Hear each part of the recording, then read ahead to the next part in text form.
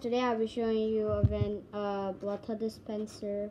I don't have the bottle thing yet, but it's best I can do, so pretty good. So this is the place when the water falls. It will go down through these holes and there will be a tissue soaking them up. And I'll do a puff trick. Maybe that's too bad, but that's the best I can do for you. You see? I can zoom in and out so you can see the just put it in here. So it is gonna dump this over. The water is dripping, right? So then you will grab a cup, put this in the slot, and zoom it in so that you can see the water level. Which is over here.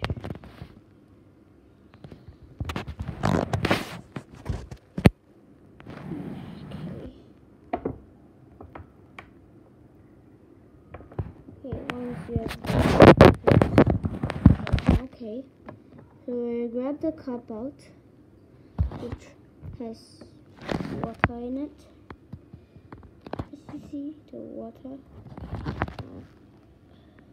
water is. Your water. I'll zoom out again. Okay, the water's there. We're gonna take this out, right out the soaked tissue, which I don't know why it's always soaked, but it's always like this. So now shift this aside and clean up the mess. Okay, so this is a machine that I wouldn't use in real life because it's just super messy.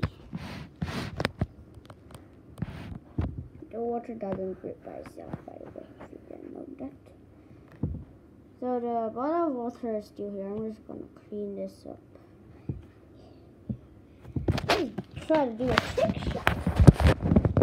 Okay, I'm gonna throw in a rubbish bin. Okay. Didn't throw it in. Okay.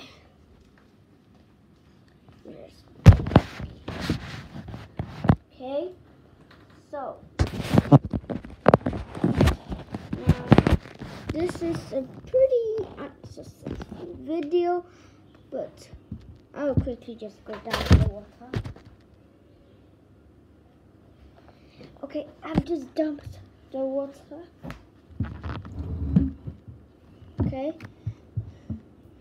This there's no nothing more. You can use that again, but it will not be like really useful and stuff. So I'll actually so this is the bottle. Give you a quick closer. I wrote spray bottle because I used it in school, but then I didn't want to the bottle, so I bring it here. And now.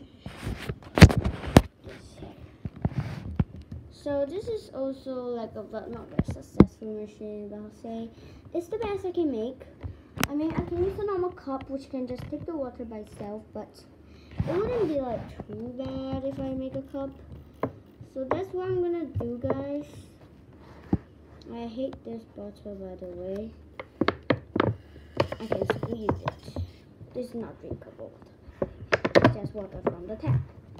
So, I hope you guys enjoyed it, but not many of the people design water dispenser thingies. They don't have this gap. So, thank you guys for watching, I'll see you guys all next time. Goodbye.